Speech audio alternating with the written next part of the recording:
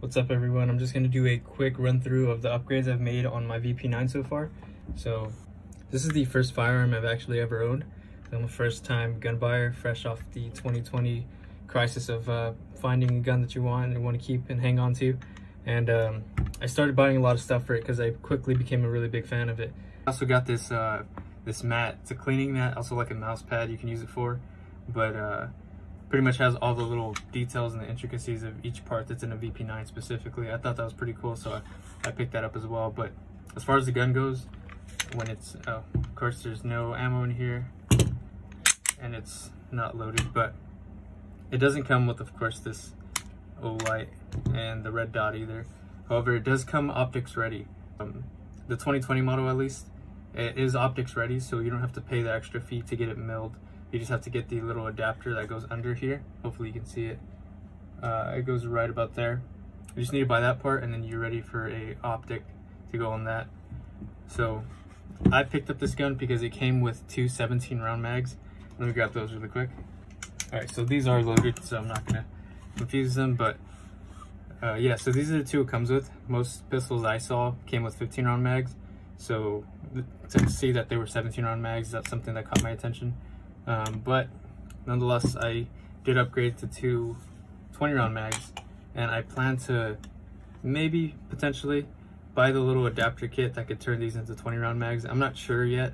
Um, there's one more upgrade that I bought and I'm gonna upgrade update this video when I bought when it comes in but it's basically a mag well that uh, makes reloading a little bit easier also gives you a better grip on the gun that's gonna go right here so as soon as that comes in, I'll be able to see if this actually still fits all the way through. And if it's not comfortable, I'll go ahead and extend these uh, here. But if it is, then there's, there's really no point to do that. I could keep them here. So yeah, it came with these two. I ended up buying these two separately. And yeah, so this is pretty much all it is. I'll show you exactly what I bought. These, I bought them, you can buy them straight from H&K parts. Um, I recommend that, they're reliable maybe you could find some better deals on separate sites, but H&K does run a little bit expensive sometimes, but it's worth it. You know you're gonna get the right product. Um, as far as these accessories, this light, uh, it's the, let's see, it's the Olight PL Pro Valkyrie, and it's extremely bright. It's It does exactly what I needed to do. The only thing it doesn't have is like a laser, but I mean, I didn't feel like I needed a laser the only functions I really needed were uh, the light and it also does the strobe. Sorry for everybody watching. And uh, if you click it twice, it actually dims it a bit. So those are the, those are the functionalities. Super bright, a little bit more dim, and also has a strobe function. So I really like it. It's super easy to attach. It's uh, it goes on your these are the Picatinny rail, rails for the VP9. So you just loosen it, boom, and it's right on. And if you have a Glock, it also fits those rails as well. So if you want to switch it in between guns, uh, I recommend it. The price was about 130 I'd say, I think. And it's uh, rechargeable here, so I think it's pretty cool. It's easy, easy to put on. The uh, red dot that I'm running is the Holosun 507C, the V, the version 2, as you can see right there. Now that bad boy is gonna run you about $310. That's what I paid for it. I really like it, so I, I don't mind. Uh, I just wanted to make sure I got a red dot that I like. So yeah, that's, that's what I got for my red dot.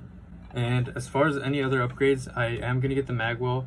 Not sure if I'm gonna change anything else. I really like the trigger on this. Um, the sights I was thinking about changing, but since I got the red dot, I don't really see a point in that. And these, these rear sights don't have any kind of uh, luminescent trails or anything like that. The front one has one. But oh yeah, overall it's a, it's a good gun. if you're a first time gun buyer or you're looking into upgrading your VP9 or just buying a VP9, I'm gonna make a separate video on just the VP9 itself and why it's a good um, option. Of course, there's not like a best option or anything like that. Uh, maybe there's better options, but uh, I'm gonna give my perspective on why I bought this for home defense slash how it also integrates into just range fun because most of the time you're going to be using it just for fun on the range. So you want to make sure it fits both of those. And this one certainly does. That's why these mags are like 20, you got 20 uh, 20 rounds in them or 17 rounds in them because you want to make sure that you have fun at the range as well. You don't want it to be uh, hard to use or annoying to use. So that's about it. Those are the uh, sights I'm running. That's the light I'm running on this and it's not very heavy still. It's really nice. Really nice. I still like it a lot. So yeah, I think that's pretty much it. I haven't made any mods inside of here and I don't plan to. The magwell comes in, I'll update this video but um, maybe I can make some shooting videos in the future. But yeah, maybe I can make a, I'm gonna make a separate video on just this uh, pistol alone, why it's a good home defense option. But for now, hopefully you enjoyed this video. If you did, go ahead and uh, tell me what you liked about this gun or if you're gonna be picking up these sights or maybe if you have a better option, something you were looking at. But this is um, my first firearm and these are the first upgrades I've made to it. I really like the way it looks. Uh, to me, it's very aesthetically pleasing as well as something about these grips just feels really good in my hands. So uh, I got comfortable shooting with it and I've got comfortable putting money into it to also make it uh, look better, more appealing to me and just pretty much have fun with it. So that's pretty much it for this video. Thanks. Peace guys.